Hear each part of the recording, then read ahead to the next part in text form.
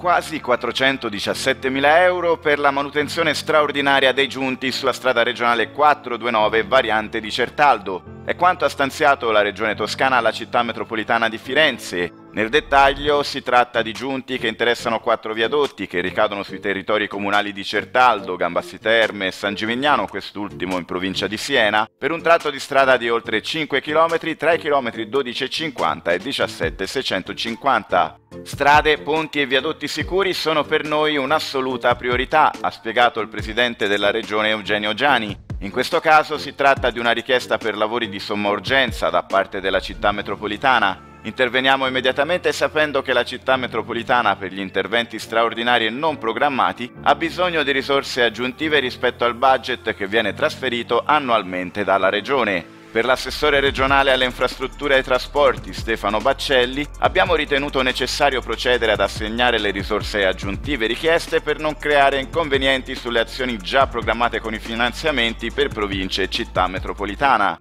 In questo modo manteniamo lo stesso livello di interventi e assicuriamo la tempestività del budget per questo lavoro di sicurezza sui giunti che è di somma urgenza.